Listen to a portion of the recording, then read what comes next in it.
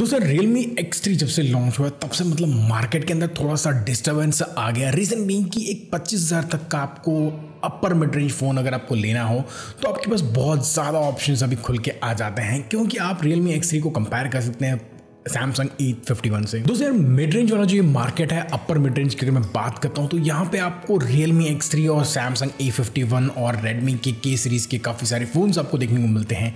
लेकिन जब से रियलमी एक्स थ्री लॉन्च हुआ है, तब से सैमसंग का रायता काफ़ी हद तक अब फैलने वाला है, क्योंकि रियलमी एक्स थ्री और सैमसंग ए फिफ्टी वन का काफ़ी तगड़ी टक्कर है स्पेसिफिकेशन के हिसाब से। तो फटाफट से इस वीडियो के अंदर हम दोनों को कंपेयर करते हैं। आपको कौन सा फ़ोन लेना चाहिए, किस लिए लेना चाहिए डिटेल स्पेसिफिकेशन और सारी चीज़ें और लास्ट में माई ब्लेंड एडवाइस तो फटाफट से वीडियो को स्टार्ट करते हैं। नमस्कार दोस्तों, मैं वीर आपका बहुत बहुत स्वागत करता हूँ आज के फ्रेश कमाल एपिसोड के अंदर। आप देख रहे हैं टेक्निकल कॉन्सेप्ट चलिए दोस्तों, आज का वीडियो हम स्टार्ट करते हैं। दोस्तों, ये दोनों जो फ़ोन है मतलब आपका अपर मिड रेंज की कैटेगरी या फिर आप कह सकते हैं कि लोअर एंड फ्लैगशिप किलर वाले फोन्स की कैटेगरी के अंदर आते हैं, क्योंकि पच्चीस हज़ार तक अगर आप पैसा खर्च करते हैं तो आप एक्सपेक्ट करते हैं कि बहुत तगड़ी डिस्प्ले बहुत अच्छा कैमरा सेटअप और काफ़ी हद तक मतलब परफॉर्मेंस के अंदर आपको लैग वगैरह देखने को आपको नहीं चाहिए। तो यहाँ पे हम रियलमी एक्स और Realme mean Samsung A fifty को अगर हम कंपेयर करते हैं, सबसे पहले हम लुक्स की बात करते हैं। तो यार यहाँ पे पर्सनली अगर आप देखते हैं सैमसंग के अंदर आपको एक फ्रंट के अंदर सेंटर के अंदर एक बहुत ही प्यारा सा पंच होल डिस्प्ले देखने को मिलता है और स्क्रीन भी बहुत ही वाइब्रेंट और बहुत ही अच्छे कलर्स निकाल के आपको देती है। हालाँकि यहाँ पे बैक के अंदर और फ्रंट के अंदर फ्रंट के अंदर आपको कॉनिंग गोरेला ग्लास की प्रोडक्शन देखने को मिलेगी, लेकिन बैक के अंदर आपको एक प्लास्टिक बैग देखने को मिलेगा और साथ में जो आपका फ्रेम दिया है, वो भी एक प्लास्टिक बैग है। तो वहाँ आपको थोड़ा सा चीप फील हो सकता है, लेकिन वहीं आप रियलमी एक्स की बात करते हैं। हालाँकि उससे पहले अगर मैं बात करूँ, यार ये प्लास्टिक देने के बाद भी आपको ऐसा फील नहीं होगा कि आप कोई एकदम चीप डिवाइस यूज़ कर रहे हैं। थोड़ा सा आपको प्रीमियमनेस फील होगी, लेकिन Realme X3 के अंदर आपको बैक के अंदर ग्लास है, साथ में कॉर्निंग गोरिल्ला ग्लास फाइव की प्रोडक्शन है। तो यार वो अपने आप में एक प्रीमियम चीज़ है। हालाँकि आप फिंगरप्रिंट्स वगैरह वो देखने में बहुत ईजिली विजिबल होते हैं। और वहीं अगर मैं फ्रंट की बात करता हूँ तो यहाँ पे आपको एक I P S L C D panel देखने को मिलेगा और सैमसंग के अंदर एक एमोलेड पैनल है जिसको वो कहते हैं इन्फिनिटी ओ डिस्प्ले तो एक बहुत बड़ा फ़र्क है और क्योंकि ये एल सी डी है, वो एमोलेड है। और बाकी अगर मैं बात करता हूँ यहाँ पे फ्रंट के अंदर आपको dual punch hole left side में कटआउट देखने को मिलेगा। दिखने में वो वाला फ़ोन छोटे से डॉट के साथ थोड़ा सा प्रीमियम लगता है। और हालाँकि बेसिकली ये डिज़ाइन वाला मामला तो काफ़ी हद तक यह सब्जेक्टिव होता है वैसे। और सबसे तगड़ी चीज़ आपको यहाँ पे फ़र्क देखने को मिलेगा वो है वन ट्वेंटी की एकदम बटरी स्मूथ डिस्प्ले देखने को मिलेगी रियलमी एक्स के अंदर।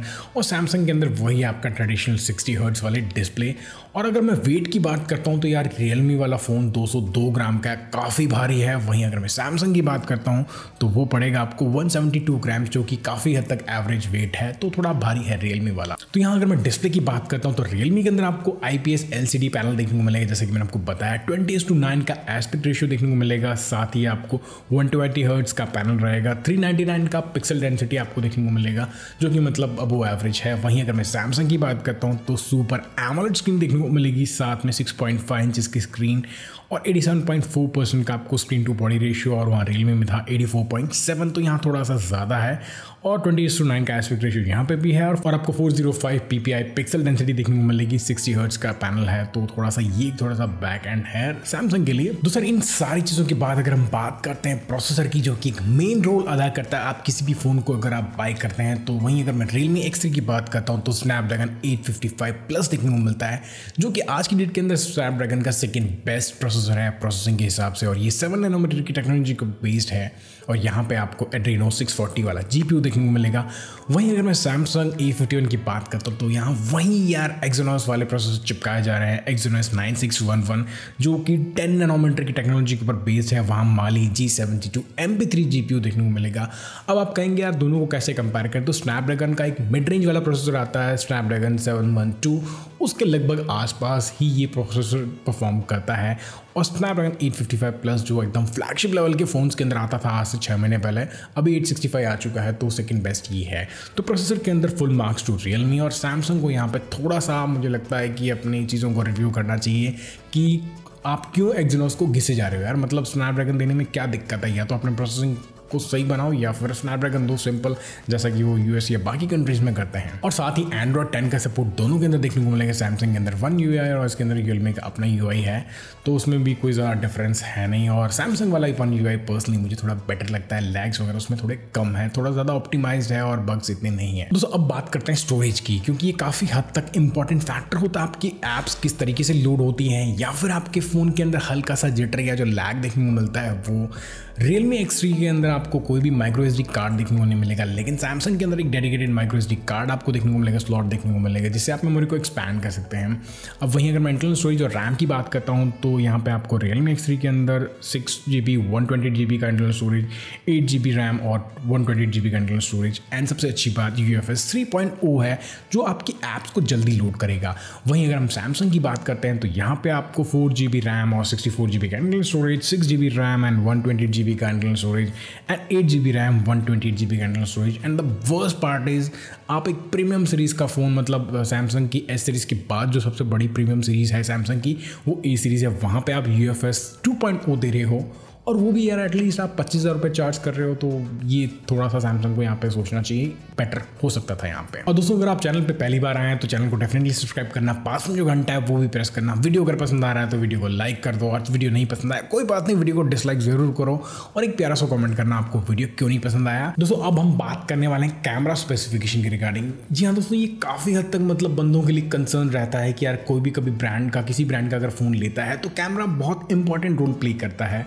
पर्सनली एटलीस्ट मैं कभी फ़ोन लेता हूँ तो कैमरा तो डेफिनेटली चेक करता हूँ। तो यहाँ अगर मैं रियलमी की बात करता हूँ तो यहाँ पे आपको 64 मेगापिक्सल का main shooter F 1.8 26 M M wide ये रहेगा और यहाँ सेंसर की साइज़ भी है, वो है one upon one point seven two मतलब नीचे नंबर जितना छोटा होगा, उतना बड़ा सेंसर का साइज़ होगा। काफ़ी अच्छा खासा साइज़ है ये सेंसर का। वहीं अगर सेकेंडरी कैमरा की बात करता हूँ 12 मेगापिक्सल का एफ़ 2.5 51 एम का टेलीफोटो जूम लेंस है। ये सैमसंग के अंदर आपको जूम लेंस नहीं मिलेगा। और इसका थर्ड कैमरा है 8 मेगापिक्सल का F two point three one one nine degree ultra wide angle shooter काफ़ी सही चीज़ है। एंड टू मेगापिक्सल का एक macro lens F two point four macro की शायद ज़रूरत नहीं थी या फिर अगर दे दिया तो कोई बात नहीं। और दोस्तों, इसके अलावा मैं वीडियो रिकॉर्डिंग की बात करता हूँ तो फोर के में शूट कर सकते हैं। सिक्सटी एफ़ पी एस तक टेन में भी सिक्सटी एफ़ पी एस तक। और बाकी अगर मैं बात करता हूँ सैमसंग की थी यहाँ पे 48 मेगापिक्सल का main shooter F two point और twenty six M M wide और यहाँ सेंसर की साइज़ है one upon two point O तो यार यहाँ थोड़ा सा सेंसर की साइज़ छोटी है, जैसे कि मैंने पहले बताया। नीचे वाला नंबर जितना बड़ा होगा सेंसर की साइज़ उतनी छोटी होगी। और दोस्तों बेसिकली रफ आइडिया मैं देना चाहूँगा सेंसर साइज़ के रिगार्डिंग सेंसर की साइज़ जितनी ज़्यादा बड़ी होगी, उतनी ज़्यादा वो लाइट कैप्चर करेगा। उतनी ज़्यादा डिटेल्स वो कैप्चर कर पाएगा और फ़ोटो आपकी उतनी अच्छी आएगी। और नाइट की जो परफॉर्मेंस है लो लाइट की, वो काफ़ी हद तक आपको अच्छी देखने को मिलेगी। और इसका जो सेकेंडरी कैमरा है, बारह mega pixel F two point two one twenty three degree का अल्ट्रा वाइड एंगल और साथ ही पाँच मेगा पिक्सल का एफ़ टू पॉइंट फोर वाला मैक्रो शूटर और एक पाँच mega pixel F two point two depth sensing camera मतलब चार कैमरा हमें पूरे करने थे, हमने पूरे कर दिए भैया। बस। और वहीं अगर मैं वीडियो कैपेबिलिटीज़ की बात करता हूँ तो four K thirty F P S और टेन एटी के अंदर one twenty F P S जी हाँ दोस्तों, ये स्लो मोशन वाली चीज़ के अंदर सैमसंग का थोड़ा सा अपर हैंड है, क्योंकि यहाँ पे स्लो मोशन के अंदर आपको ज़्यादा फ्रेम्स पर सेकंड देखने को मिलते हैं, जिसका मतलब वो अगर आपको वीडियो को स्लो करना है या फिर स्लो मो वीडियो शूट करना है तो वो आप थोड़े से स्मूथ हो जाएँगे और एकदम बटरी वीडियो आपकी आएगी यहाँ और इसके अलावा दोस्तों, अगर मैं सेल्फी कैमरा की बात करता हूँ तो sixteen mega pixel F two point two twenty six M M wide sensor की size one upon three point zero six ये रियलमी का है। और एक और सेंसर है यहाँ पे 8 मेगापिक्सल का F two point two one zero five degree का अल्ट्रा वाइड एंगल शूटर जैसे कि मैंने पहले बताया कि फ्रंट के अंदर आपको दो दो कैमराज पंचोल के अंदर देखने को मिलेंगे रियलमी के अंदर सैमसंग के अंदर आपको एक ही छेद है बीच के अंदर, और वो रहेगा बत्तीस मेगा का F two point two twenty six M M wide और सेंसर की साइज़ यहाँ सैमसंग बाजी मार जाएगा। One by two point eight. तो मतलब सैमसंग की यहाँ साइज़ बड़ी है रियलमी की थोड़ी छोटी है। और दोस्तों, यहाँ दोनों ही फ़ोन के अंदर आपको छः देखने को मिलेगा डुअल बैंड वाईफाई साथ में आपको ब्लूटूथ फाइव पॉइंट ओ का सपोर्ट देखने को मिलेगा, साथ ही टाइप सी दोनों के अंदर दे रखा है। फिंगरप्रिंट सेंसर की बात करता हूँ तो रियलमी वाले के अंदर एकदम साइड में दे रखा है। आजकल नया ट्रेंड चल रहा है। और सैमसंग वाले में वही traditional optical sensor in display वाला देखने को मिलेगा। अब बात करते हैं बैटरी और चार्जिंग कैपेबिलिटीज़ की। यार, यहाँ पे भी मतलब आपको काफ़ी क्लियर कट डिफरेंस और क्लियर कट वरना देखने को मिलेगा। रियलमी के अंदर आपको 4200 थाउज़ेंड मिली एम्पियर आर की बैटरी देखने को मिलेगी और साथ में 30 वॉट की फास्ट चार्जिंग और ब्रांड का ऐसा दावा है कि एक घंटे के अंदर आपके फ़ोन को पूरा चार्ज कर देगा। और वहीं अगर मैं सैमसंग की बात करता हूँ तो यार चार हज़ार की बैटरी कोई बात नहीं यार, यहाँ तक भी बंदा एडजस्ट कर लेगा। लेकिन सिर्फ़ फिफ्टीन वॉट की फास्ट चार्जिंग यार मतलब आजकल के पंद्रह हज़ार तक के फ़ोन के अंदर भी आपको तीस वॉट की फास्ट चार्जिंग आराम से देखने को मिलती है। पता नहीं ये लेके कहाँ जाएँगे। मतलब मैं पर्सनली कई बार सोचता हूँ, ये एप्पल और सैमसंग जैसे मतलब फ़ोन मतलब फास्ट चार्जिंग की टेक्नोलॉजी इनके पास शायद है डेफिनेटली है। लेकिन उसको पता नहीं कौन से फ़ोनों के लिए बचा के रखते हैं मतलब रियलमी और वीवो जैसे छोटे ब्रांड्स कंपेरेटिवली पचास वाट पचपन वाट पैंसठ वाट तक की फास्ट चार्जिंग दे रहे हैं। मतलब जो तीस बत्तीस मिनट के अंदर आपके चार हज़ार, पाँच हज़ार की बैटरी को पूरा चार्ज कर देता है।